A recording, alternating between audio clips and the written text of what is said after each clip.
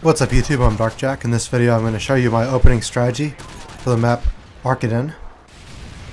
Now on this map, if you want to get your kill streaks on a consistent basis, what I recommend is that you head glitch on the right over here.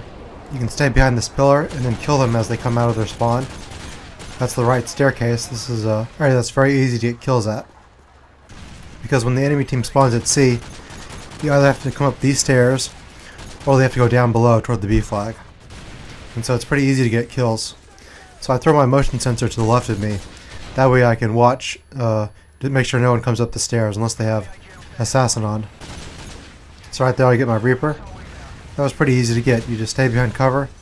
That's a great head glitching spot, which is kind of cheap, but it works very well. And the developers put these things in the game on purpose.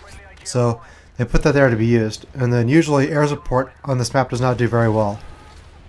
But fortunately this game, it goes really well for me.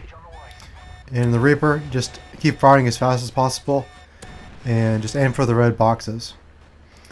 And then I got another nice kill. And then up here, I'm going to get a nice little double kill. And so the setup I'm using is Predator, Reaper, and then Assault Drone.